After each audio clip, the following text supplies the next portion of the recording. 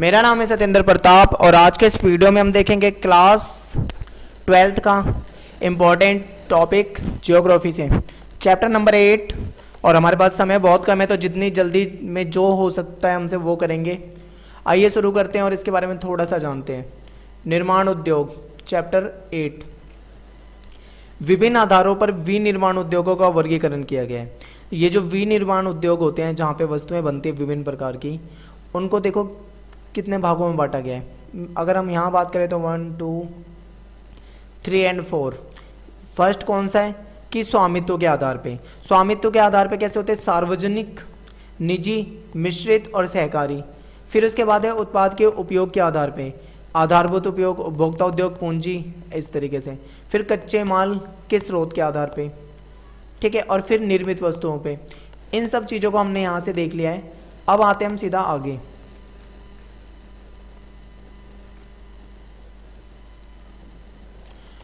Most important question paper में ऐसे question काफ़ी आते हैं। क्वेश्चन ये है कि उद्योगों को प्रभावित करने वाले कारक, यानी जो उद्योग हैं, उसको प्रभावित करने वाले कारक हमें बताने हैं। तो आप ये सोचो, मान लो कि आप किसी चीज़ का उद्योग लगाने जा रहे हो, आप कोई फैक्ट्री वगैरह खोलना चाहते हो तो आप उस फैक्ट्री के मालिक हो तो आप उसके बारे में उद्योग लगाने से पहले आप क्या क्या सोचोगे? देखो, सबसे पहले आप ये सोचोगे जो कि कच्चा माल वहाँ पे उपलब्ध है या नहीं। यानी कि हमें मान लो कि हम भाई खिलौनों की फैक्ट्री ऐसा उद्योग लगाना चाहते हैं जिसमें हम खिलौनों का निर्माण करें, बहुत बड़े लेवल पे। तो हमें खिलौने बनाने के लिए जो कच्चा माल चाहिए होगा प्लास्टिक वगैरह या और कोई चीज़, क्या वो चीज़ वहाँ पे उपलब्ध है, अच्छे से आसपास या नहीं? इस चीज़ को देख के हम उद्योग लगाएँगे। दूसरी चीज़ हम क्या देखेंगे? शक्ति तथा साधन। हमें वहाँ पे साधन वगैरह मिल जाएँगे मैन पावर मिल जाएगी, मजदूर वगैरह मिल जाएँगे या नहीं? फिर हम देखेंगे बाज़ार एवं बैंकिंग क्योंकि जो चीज़ हमारे यहाँ से बन के जाएगी हमारे उद्योग में, वो चीज़ हमें बेचनी भी है। क्या वो बाज़ार वगैरह वहाँ पे नज़दीक है यानी इस चीज़ का भी ध्यान रखना पड़ेगा। फिर अगला है कि परिवहन और संचार, क्योंकि भाई कच्चा माल आएगा हमारे उद्योग तक। सॉरी तो यहाँ से मान लो कच्चा माल आ रहा है तो कैसे आएगा भाई? गाड़ियों में आएगा तो उसके लिए क्या चाहिए हमें? परिवहन। फिर हमारे यहाँ से जो चीज़ बन के जाएगा, जाएगी बाज़ार की तरफ़, वो भी कुछ ना कुछ उसके लिए भी परिवहन व्यवस्था चाहिए। तो परिवहन की और कम्युनिकेशन की संचार के साधन अच्छे होने चाहिए। फिर अगला है कि सस्ता और कुशल श्रम क्योंकि हर कोई चाहता है कि भाई सस्ते और कुशल श्रम में काम हो जाए तो ये भी चाहिए। फिर औद्योगिक नीति कि सरकार की नीतियाँ क्या है? सरकार की नीतियाँ अनुकूल है या नहीं? और भी बहुत सारे रीज़न हो सकते हैं। तो हम इन चीज़ों का ध्यान रखेंगे। अब यही क्वेश्चन में कैसे आता है आपको वो भी दिखा देंगे। अब आते हैं हम थोड़ी सी समरी पढ़ लेते हैं थोड़ी सी। आ, यह है कि प्राथमिक क्रियाकलापों से प्राप्त उत्पाद को पुनः निर्माण निर्माण कर मानव उपयोगी बनाने की क्रिया को द्वितीय क्रियाकलाप कहा जाता है। मुख्यतः निर्माण उद्योग में आता है। ये तो सब हम जानते ही हैं कि जो हमें प्राथमिक क्रियाकलापों से जो चीज़ें मिलती हैं जो भी मतलब हमें कच्चा माल होता है हमारे पास उससे हम कोई नई चीज़ बना देते हैं। ठीक है जो कि मानव के उप, उपयोग में काम आए यानी कि मानव के लिए उपयोगी हो जाए तो वो द्वितीय क्रियाकलाप कहलाता है और ये सारा निर्माण उद्योग में आता है। और आज के समय में देखें, आधुनिक समय से तो निर्माण उद्योग अर्थव्यवस्था का एक महत्वपूर्ण हिस्सा बन चुका है। देश की प्रगति का आकलन निर्माण उद्योगों की दशा से किया जाता है। ठीक है? देखा जाता है कि भाई कौन से देश में निर्माण उद्योग वगैरह किस हालत में है। ठीक है? उसी हिसाब से क्या होता है दोस्तों, उस देश का, उस देश की प्रगति का आकलन किया जाता है कि वो कितना तरक्की कर रहा है या करेगा। अब आते हैं हम थोड़ा सा आगे।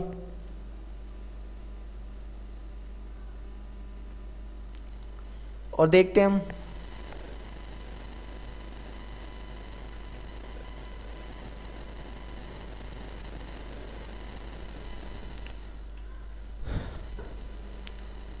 हम आते हैं सीधा दोस्तों क्वेश्चन आंसर भी काफ़ी आगे पहुँच गए हम।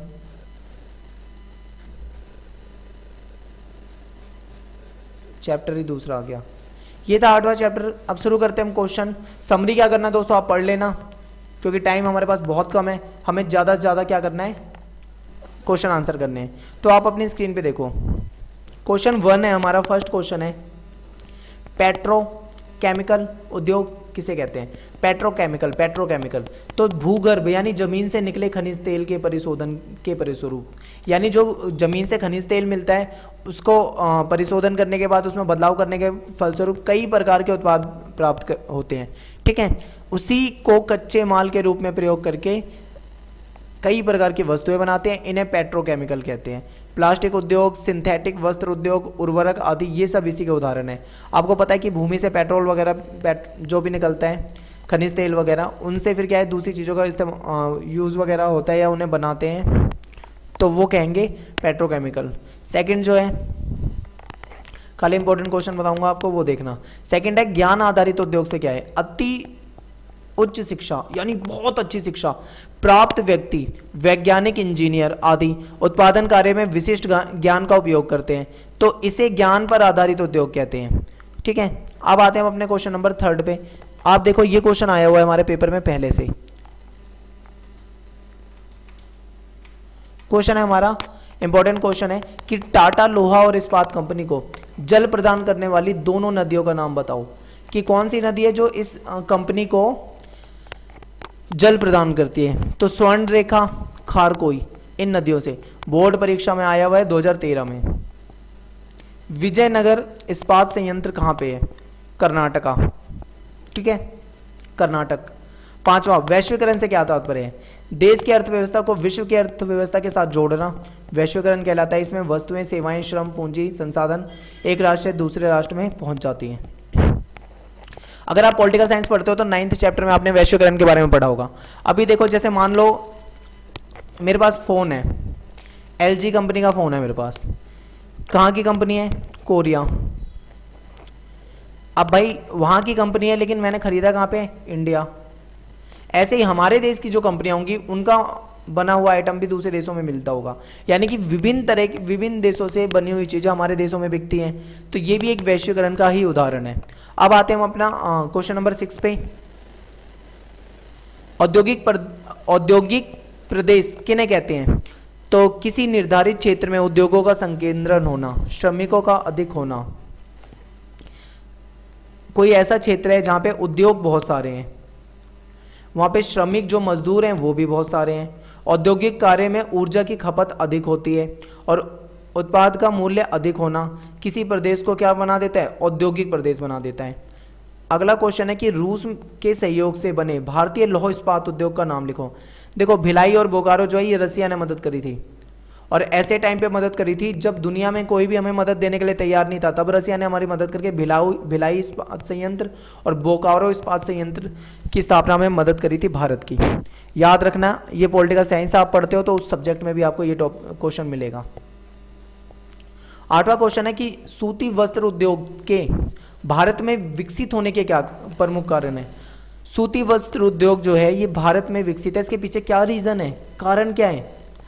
देखो, भारत में कपास उत्पादन के लिए उपयुक्त जलवायु एवं अन्य परिस्थितियाँ। आपको पता है कि दक्षिण भारत की तरफ़ मुंबई वगैरह में, महाराष्ट्र वगैरह में, और उधर की साइड क्या होता है, कपास वगैरह की जो खेती होती है, अच्छी होती है। हमारे यहाँ पे जो परिस्थिति है उसके हिसाब से कपास के लिए अच्छी है। अगर आप इतिहास हिस्ट्री में पढ़ते हो तो वहाँ पे भी आपने पढ़ा होगा वो वाला, अंग्रेज़ों वाला चैप्टर उपनिवेश वाला। वहाँ पे भी बताया था कि भारत में कपास जो होता था अच्छी क्वालिटी का था। सेकंड जो है परंपरा से चला आ रहा उद्योग जिसके कारण कौशल हस्तांतरित होता है। एक ये भी है कि परंपरा से चला आ रहा है इससे कौशल हस्तांतरित होता है यानी जो कौशल का मतलब होता है स्किल मान लो कि कोई व्यक्ति है उसको उसके अंदर ये स्किल है वो आ, सूती वस्त्र उद्योग से जुड़ा हुआ है वो काम जानता है। वो उसी काम से अपना घर घर चला रहा है। ठीक है? उसके बाद क्या हुआ? उसने अपने बच्चे, जो उसका बच्चा था, उसने भी अपने साथ उसी काम में डाल लिया। यानी उसकी जो स्किल थी, वो उसमें आ गई, वो भी सीख गया उस काम को। उसके बाद क्या हुआ? परंपरा से चलता आ रहा है। उसने अपने बच्चे को डाल दिया। और फिर इस तरीके से क्या है कि मतलब ऐसे भी कई लोग हैं, जो कई पीढ़ियों से इसी काम में लगे हुए हैं। तो एक चीज़ ये भी हो जाएगी कि परंपरा से चला आ रहा उद्योग है, जिसके कारण जो स्किल है, वो हस्तांतरित होती रह रही है। मतलब एक से दूसरे पे, दूसरे से तीसरे में। अगला है कि उष्ण आर्द्र जलवायु के कारण सूती वस्त्र की अधिक मांग। हमारे यहाँ पे सूती वस्त्र की जो मांग है, वो भी ज़्यादा है तो एक रीज़न ये भी बन सकता है। क्वेश्चन नंबर नाइन्थ देखो।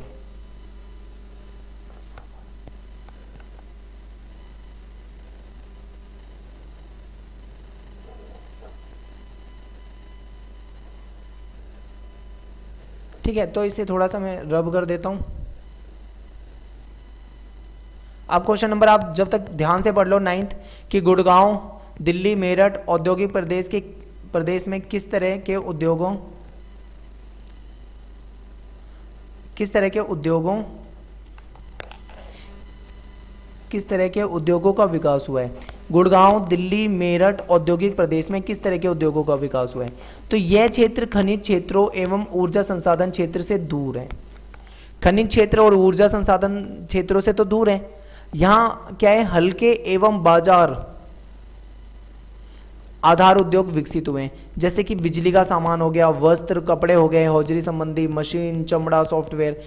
क्योंकि यहाँ पे खनिज संसाधन नहीं है तो ज़्यादा नहीं, पर ऐसे जो हल्के यूज़ वाले चीज़ें हैं, ये इनके बाज़ार हैं यहाँ पे, दिल्ली, मेरठ और यहाँ पे। पेट्रो रसायन सेक्टर के अंदर काम करने वाली दो संस्थाओं के नाम बताने हैं। भारतीय पेट्रो रासायनिक corporation limited, IPCL. Petrofils cooperative limited, ये सेकंड तो आपको दोस्तों, ये तो नाम याद करने पड़ेंगे। इसमें कोई वो नहीं है ट्रिक वगैरह की आपको बता दूँ और याद हो जाए।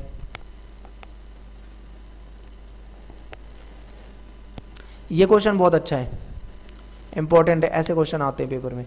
नई औद्योगिक नीति की घोषणा कब की गई? इस नीति के चार उद्देश्य क्या हैं? ये हुई थी उन्नीस सौ इक्यानवे में। ठीक है राजीव गांधी थे और आपको पता होगा राजीव गांधी की बाद में हत्या भी कर दी गई थी। ठीक है तो उस टाइम पे हुई थी क्या हुई थी ये नई औद्योगिक नीति की घोषणा। और इस नीति में क्या हुआ था कि इसके उद्देश्य पूछे हैं तो हम हमको उद्देश्य बताना है। अब तक प्राप्त किए गए लाभ को बढ़ाना जो भी लाभ हमें मिला है उसको बढ़ाना था हमें। पुरानी औद्योगिक की औद्योगिक नीति थी उनकी कमियों को दूर करना था। तीसरा उत्पादकता और ला, लाभकारी रोज़गार में स्वपोषित वृद्धि को बढ़ाना था और अंतर्राष्ट्रीय प्रतियोगिता को प्राप्त करना था। क्या होता था दोस्तों, उस टाइम पे हमारे देश में जो व्यवस्थाएँ थी वो काफ़ी पुरानी थी। फिर ये नई औद्योगिक नीति लाई गई और विभिन्न देशों से हमारा व्यापार बढ़ा। बहुत सारे सुधार हुए थे उस टाइम पे देश में। राजीव गांधी जी ने एक बात कही थी कि अगर सरकार एक रुपया भेजती है किसी के पास तो गरीब तक वो पंद्रह पैसे के रूप में ही पहुँच पाता है। तो इसी तरीके से उस टाइम पे इतने सारे सुधार हुए थे कंप्यूटर वगैरह लाए गए थे। तब तो बहुत ज़्यादा आलोचनाएँ भी हो रही थी, इससे रोज़गार छिन जाएगा, पता नहीं क्या क्या बातें चल रही थी। तो उस टाइम पे लागू की गई थी, नई औद्योगिक नीति। अगला क्वेश्चन है कि लोहा इस्पात उद्योग। देश के औद्योगिक विकास का आधार है। ऐसा क्यों? लोहा इस्पात उद्योग जो है, वो आधुनिक औद्योगिकरण की नींव है। बिल्कुल, क्योंकि ये सभी उद्योगों का आधार है। हमने पढ़ा था। क्योंकि भाई, ये उद्योग कई उद्योगों को आधारभूत सामान प्रदान करता है। अब मान लो भाई, कोई उद्योग है, उस उद्योग में कुछ चीज़ें बनती है, वस्तुएँ बनती हैं तो वो मशीनों वगैरह से बनती हैं। और आपने देखा ही होगा कि जो भी मशीनें होती हैं मोस्टली लोहे की ही होती हैं। उसमें जो भी पार्ट्स वगैरह होते हैं, वो लोहे से रिलेटेड हैं। ठीक है, ये। फिर क्या ये आधुनिक मशीनों, परिवहन यंत्रों का आधार है? इसीलिए इसे उद्योगों की कुंजी भी कहा जाता है, क्योंकि आज आप देखो, कोई सी भी चीज़ देख लो आप कोई गाड़ी हो जाएगी या कोई उद्योग हो जाएगा, लोहे का यूज़ तो हर जगह होता ही है। हंड्रेड परसेंट आप देखोगे, ऐसा हो ही नहीं सकता कि किसी भी उद्योग में आपको लोहे का यूज़ ना मिले। इसके बाद आते हैं सूती वस्त्र उद्योग के दो सेक्टरों के नाम बताओ। तो सूती वस्त्र उद्योग के दो सेक्टर हैं, एक तो भाई हथकरघा सेक्टर है, दूसरा विद्युत करघा सेक्टर है। हथकरघा आप जानते होंगे, एक मशीन टाइप की होती है, इस तरीके से हाथ से उसमें, हाथ से ही वो खर खर उसे खींचते हैं, उसमें धागे वगैरह जो लंबे लंबे से बन जाते हैं। काफ़ी मतलब डिज़ाइनिंग टाइप की बनाई जाती है उसमें। वो काम जो होता है काफ़ी बारीक काम होता है, महीन काम होता है काफ़ी। तो सेक्टर इसमें क्या होता है, स्थानिक श्रम तथा कच्चे माल पर निर्भर होता है ये। इसका उत्पादन भी जो होता है, वो बहुत कम होता है, सीमित होता है। दूसरी तरफ़ बात करें विद्युत करगा, जो बिजली की मशीनों के द्वारा। इस सेक्टर में क्या है, कपड़ा मशीनों मशीनों द्वारा बनाया जाता है। यह सेक्टर देश के कुल उत्पादन में 50 परसेंट भाग उत्पादित करता है, क्योंकि सबसे ज़्यादा जो होता है काम वो मशीनों से ही होता है। हथकरघे से उतना अच्छा काम नहीं हो पाता है। उतना ज़्यादा काम नहीं हो पाता है।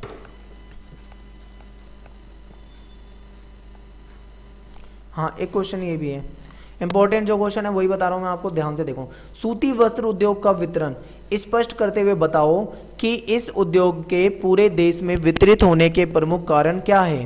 कि ये जो सूती वस्त्र उद्योग है, ये जो उद्योग है, पूरे देश में क्यों वितरित है? क्या रीज़न है? तो सबसे पहले देखो, वितरण की बात करें अगर हम तो मुंबई और अहमदाबाद में सूती वस्त्र उद्योग का विकास हुआ था।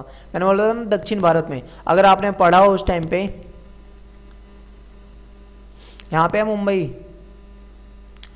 तो अगर आपने हिस्ट्री में पढ़ा हो तो वहाँ पे आपको पता लगेगा कि मुंबई, अहमदाबाद, इधर ही थे सूती वस्त्र उद्योग। उसके बाद क्या हुआ? दक्षिण भारत में कोयम्बटूर मदुरै, बेंगलोर यह उद्योग फैला, फिर यहाँ पे फैल गया। इसके बाद यह नागपुर, इंदौर, शीला सोलापुर, कानपुर, वडोदरा, यहाँ पे इसके केंद्र बने। आज तमिलनाडु में सबसे अधिक मीले हैं। मिले लिखा हुआ है ना, मील बोलते हैं जिसे, वो है। कारण क्या है इतना ज़्यादा फैल जाने का? तो सस्ता स्थानिक श्रम, क्योंकि यहाँ पे सस्ता श्रम मिल जाता है, यानी मजदूर मिल जाते हैं सस्ते में। फिर क्या है? विद्युत शक्ति की उपलब्धता। यहाँ पे बिजली जो है, वो उपलब्ध है। यानी इलेक्ट्रिसिटी जो है यहाँ पे उपलब्ध है। इसके बाद है कि कच्चे माल और उत्पादित माल हल्का होने के कारण यह बाज़ार, कच्चा माल जो है और उत्पादित उत्पादक माल जो है, वो हल्का होने के कारण यह बाज़ार केंद्रित उद्योग है। अर्थात इसका मतलब यह कि कच्चे माल जो कपास के स्रोत के पास नहीं, बल्कि बाज़ार के पास उद्योगों का होना, कि बाजारों के पास जो है वो उद्योग होते हैं। अगली बात है कि परिवहन की सुविधा का विकास, कि यहाँ पे जो परिवहन है, आपने सुना होगा अच्छे शहर हैं ये सारे जितना बड़ा था, यहाँ पे परिवहन अच्छा मिल जाता है, ठीक है? बिजली वगैरह, सारी चीज़ें जो उद्योग के लिए चाहिए, वो सारी चीज़ें यहाँ पे उपलब्ध है। क्वेश्चन नंबर सोलवा है कि भारत का सॉफ्टवेयर उद्योग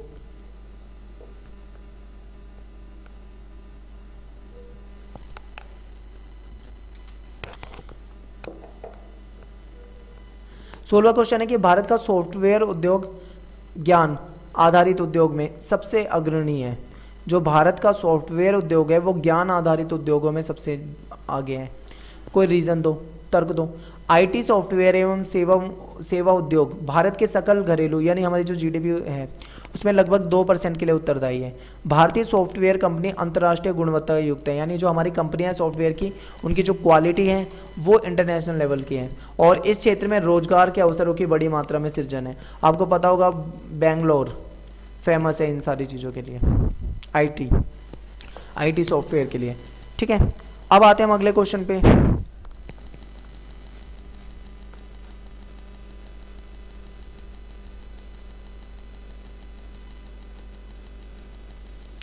एक ये भी पढ़ लेते हैं, चीनी उद्योग वाला क्वेश्चन कि चीनी उद्योग एक मौसमी उद्योग क्यों है? देखो, गन्ना. चीनी कैसे बनती है? गन्ना. गन्ना अगर खेत से काटने के 24 घंटे के अंदर उसका रस निकाला जाए तो अधिक चीनी की मात्रा प्राप्त होती है. यानी गन्ने को जब खेत में से काटा है और 24 फोर आवर के अंदर उसका रस निकालें तो चीनी जो मिलेगी वो अधिक मात्रा में मिलेगी. दूसरा ठीक है, और मौसमी उद्योग इसलिए, क्योंकि आपको पता है गन्ना, उसकी भी फ़सल उगाई जाती है, मौसम के अकॉर्डिंग ही और दूसरी चीज़ क्या है कि शुष्क ऋतु में गन्ना को खेत में नहीं रखा जा सकता, क्योंकि सूखने लग जाता है ना उससे। और सूखने पर क्या होता है? सूखने पर चीनी की मात्रा कम हो जाती है, उसका जो रस है वो धीरे धीरे सूखने लग जाता है। इसीलिए इसे काट कर तुरंत मिलों में भेजा जाना ज़रूरी है, और मिलें केवल उस मौसम में काम करती हैं जब उसे काटा जाता है। ठीक है, जब मतलब गन्ना, गन्ने काटने का एक मौसम होता है, एक समय होता है उस समय में जब गन्ना काटा गया 24 घंटे के अंदर उसे मील में पहुंचाना है और वो जो मील होगी, उसी वक्त काम करेगी। यानी ये कोई पूरे साल चलने वाला काम नहीं है। इसीलिए ऐसे जो मौस, कुछ मौसम के अकॉर्डिंग ही होते हैं, उन्हें मौसमी उद्योग कहते हैं। तो क्वेश्चन अगर ऐसा आ जाए, चीनी उद्योग को मौसमी उद्योग क्यों कहते हैं? तो आई होप आपको बहुत ईजी लगेगा, आप अच्छे से बता पाओगे, उसे पेपर में कर पाओगे। और दोस्तों, एक कोई बच्चा कमेंट में ये कह रहा था कि आप सारे क्वेश्चन क्यों नहीं करवा रहे हो? पता नहीं क्या। कुछ कमेंट लिखा था मैंने अच्छे से पढ़ा नहीं जल्दीबाजी में। तो मैं बताना चाहता हूँ बेटा टाइम देखो आप कितना है। परसों पेपर है और ज्योग्राफी तो मैं पढ़ाता भी नहीं हूँ। वो तो इतने बच्चे, कई बच्चों ने कमेंट करा था, बताओ तो बताओ तो चैप्टर तो फिर मैं किसी तरीके से कोशिश कर रहा हूँ कि जल्दी जल्दी सपोर्टिंग मटेरियल से मेन मेन क्वेश्चन कर दूँ। अगर मैं एक क्वेश्चन को करने लगा ना बैठ के तो दोस्तों फिर तो एक चैप्टर भी नहीं हो पाएगा। इसलिए जो कर रहा हूँ, आप ध्यान से देख लो, आप समझ जाओगे, उसके बाद अपनी खुद हल्की फुल्की मेहनत कर लो। साल भर अगर आपने पढ़ा होगा तो आपको बहुत अच्छा होगा आपके साथ। और दूसरी चीज़ पेपर बहुत ज़्यादा ईजी आता है, इतना मुश्किल पेपर नहीं आता। पेपर आप देख के आओगे तो आपको खुद पता लग जाएगा। घबराने की ज़रूरत नहीं है, जो पढ़ा है अच्छे से पढ़ लो उसे।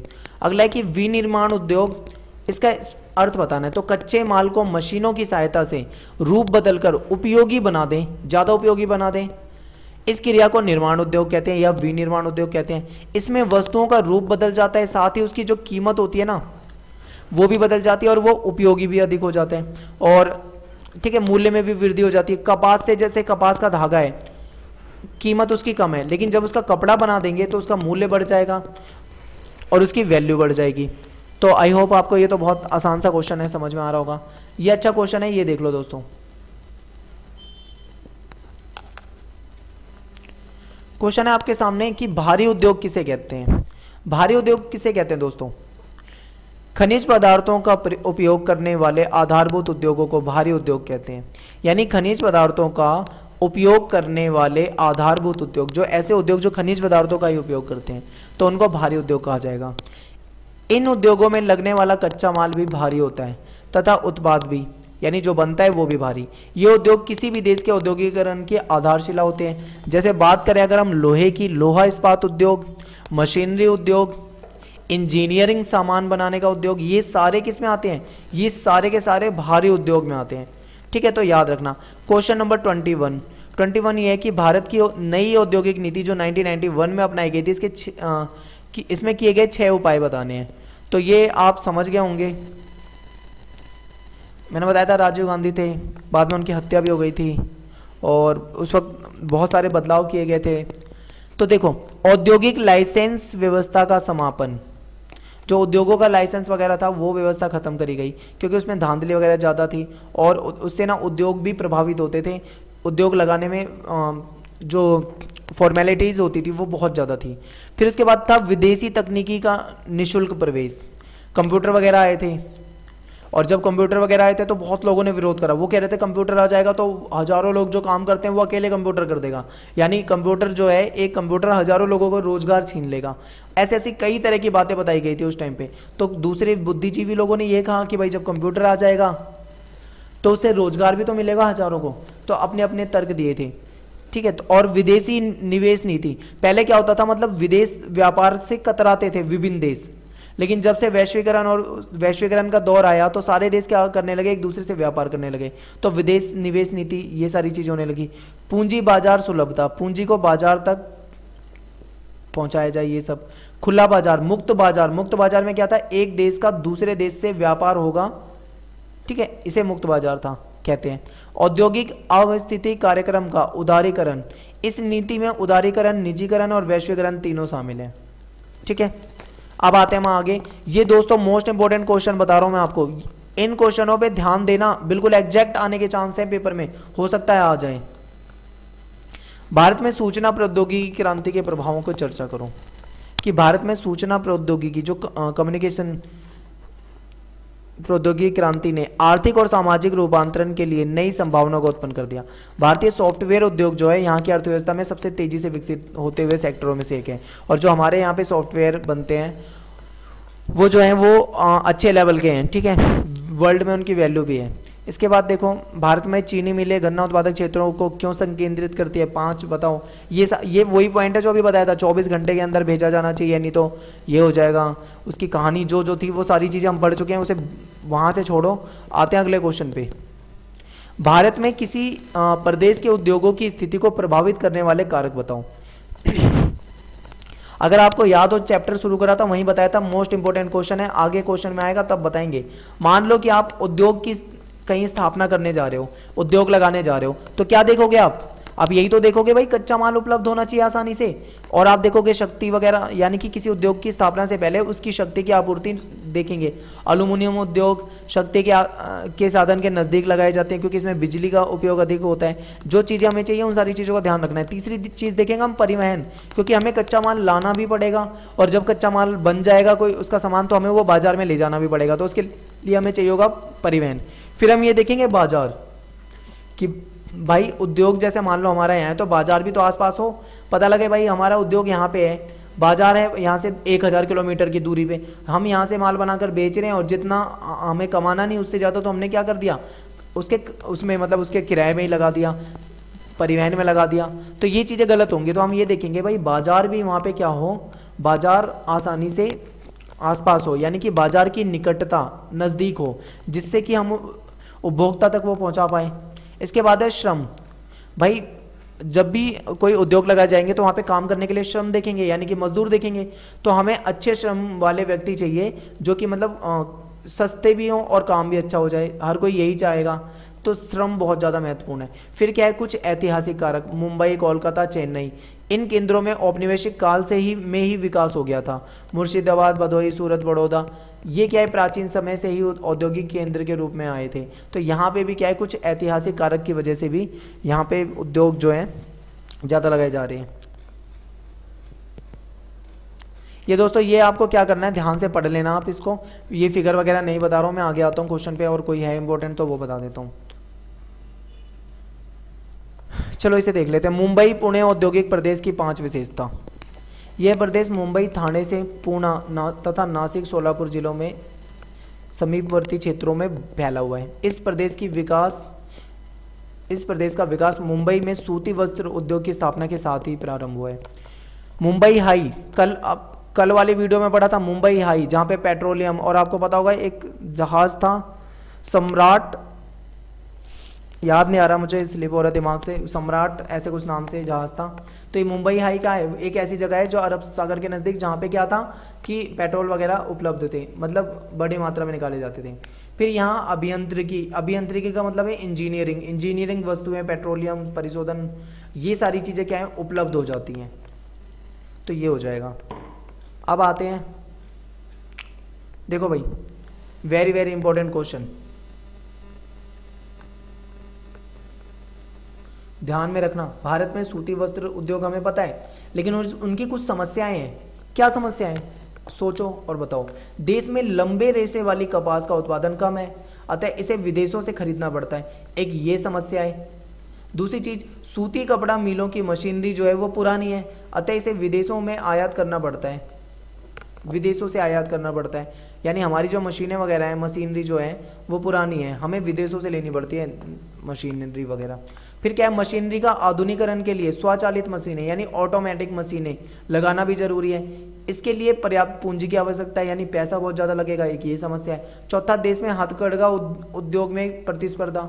जो हथकरघा उद्योग है, उसमें प्रतिस्पर्धा कॉम्पिटिशन वगैरह है तो ये भी एक रीज़न हो सकता है। फिर विदेश में भी चीन, जापान के तैयार वस्त्रों से अधिक स्पर्धा यानी चाइना और जापान से जो चीज़ें बनकर आती हैं, उनसे भी कंपटीशन करना पड़ता है। तो ये एक समस्या वाली बात हो सकती है इनके लिए। ये क्वेश्चन और देख लो भाई। उदारीकरण, निजीकरण, वैश्वीकरण, क्या अर्थ है इनका? और उन्होंने भारत के औद्योगिक विकास को कैसे प्रभावित किया? उदारीकरण देखो। उदारीकरण से अभिप्राय है निजी क्षेत्र से सभी प्रकार के प्रतिबंधों को हटाना। यानी उदारीकरण का मतलब होता था कि ये जो प्राइवेटाइजेशन था ना हमारे देश में, बहुत तरह के प्रतिबंध वगैरह होते थे। और तो ये सारे प्रतिबंध हटा दिए गए, हटाने की बात रखी गई थी ताकि क्या हो जाए कि व्यापार वगैरह में बढ़ोतरी हो। तो जैसे कि औद्योगिक लाइसेंस व्यवस्था को ख़त्म कर दिया जाएगा, विदेशी टेक्नोलॉजी को भारत में लाया जाएगा और उसका प्रयोग किया जाएगा, ठीक है? फिर उसके बाद क्या है कि विदेशी निवेश का उदारीकरण, जो ताकि विदेश से जो आने वाली चीज़ें हैं, विदेश से जो भारत में निवेश हो सके। फिर क्या है, मुक्त व्यापार, कि हमारे यहाँ पे जो बन रही है चीज़ें, उसको हम बाहर बेचेंगे, बाहर से जो चीज़ें बन के आ रही है, उसे भी हम खरीदेंगे। इस तरीके से हमारा व्यापार। निजीकरण आपको पता होगा, बहुत आसान है प्राइवेटाइजेशन जो कि पूंजीवाद में की एक मुख्य विशेषता है निजीकरण। तो निजी क्षेत्र में अधिक से अधिक उद्योगों को सम्मिलित करना। कि ये कहा गया था कि भाई निजी क्षेत्र में ज़्यादा से ज़्यादा उद्योगों को सम्मिलित किया जाएगा। सरकार का प्रभुत्व जो है वो समाप्त करना और नए क्षेत्र जैसे खनन, दूरसंचार मार्ग निर्माण और इन व्यवस्था में कंपनियों के लिए खोलना। कि जैसे सरकार के हाथ में होता था बहुत सारी चीज़ें, खनन वगैरह ये सब। तो सरकार ने बोला कि अब प्राइवेट कंपनी आएगी, वो चलाएगी इनको। जैसे आप पता है, आप दिल, अगर दिल्ली में रहते हो तो आपको पता होगा बिजली। बिजली क्या होती थी? पहले डेसू सरकारी हाथ में होती थी। बाद में क्या हुआ? B S E S Tata Rajdhani power B S Rajdhani power B S Yamuna power. यानी कि सरकार ने क्या बोला भाई अब बिजली प्राइवेट कंपनियाँ चलाएँगी। तो समझ रहे हो, यानी कि प्राइवेट कंपनियों को दे देना, यानी निजी व्यक्तियों को दे देना। फिर वैश्वीकरण वैश्वीकरण, आप जानते हो, अपनी अर्थव्यवस्था को संसार की अर्थव्यवस्था से जोड़ना, उसमें क्या होता है, पूंजी का, सेवाओं का, श्रम का, संसाधनों का एक से ज़्यादा देशों में पहुँच जाती हैं चीज़ें। तो ये जो उदारीकरण, निजीकरण, वैश्वीकरण है, इससे भारत के औद्योगिक विकास में क्या सहायता मिली है? ये मोस्ट इंपॉर्टेंट चीज़ है कि क्या फ़ायदा हुआ है हमको इनसे? तो विदेशी सहयोग में वृद्धि हुई है। विदेशी निवेश जो हुआ है भारत में, उससे हमें फ़ायदा हुआ है। फिर क्या इलेक्ट्रॉनिक और विद्युत उपकरण, खाद, खाद्य और दुग्ध उत्पादकों को लगाया जा चुका है। कंपटीशन जो था कंपटीशन के परिणाम स्वरूप कुछ भारतीय कंपनियों को लाभ हुआ है। और कुछ कंपनियों को नुकसान भी हुआ है तो कुछ कंपनियों को फ़ायदा भी हुआ है। कंपटीशन जब होता है तो क्या बढ़ती है? क्वालिटी बढ़ जाती है। टाटा मोटर इन्फोसिस इन्फोसिस जैसी कंपनियों ने विश्व भर में अपनी शाखाएँ खोल ली ये भी एक बहुत अच्छा पॉइंट है। छोटे उत्पादकों पर वैश्वीकरण का बुरा प्रभाव पड़ा। वे बड़ी कंपनियों से कंपटीशन नहीं कर सकती। ठीक है, ये एक चीज़ है कि छोटे उत्पादक थे, उन पे बुरा प्रभाव पड़ा है। क्योंकि अब जो ये आप देखते हो कि मॉल वगैरह खोल रहे हैं, इनसे क्या होता है कि जो खुदरा दुकानदार होते हैं, उनको नुकसान होता है। इसी तरीके से जो छोटे उत्पादक होते हैं, वो बड़े ब्रांड से, विदेशी कंपनियों से मुकाबला नहीं कर पाते हैं तो ये एक समस्या बन जाती है।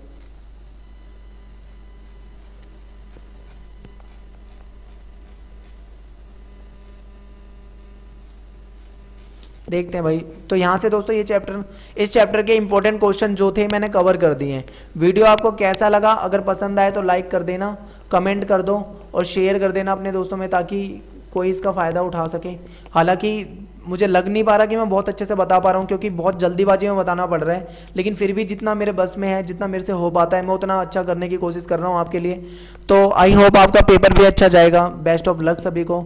और कल देखते हैं, कल मोस्ट इंपॉर्टेंट क्वेश्चन डाल देता हूँ लास्ट ईयर जो आए हुए हैं। ठीक है मोस्ट इंपॉर्टेंट क्वेश्चन जो पिछले दो तीन साल के पेपर आपको दिखा देता हूँ, कैसे पेपर आए हुए हैं, उस पर वीडियो बना दूँगा। और अगर टाइम निकाल के देखता हूँ मैप वगैरह जो आए हुए हैं, दो चार मैप बता दूँगा। इतना हो पाएगा, उसके बाद परसों तो आपका पेपर ही है।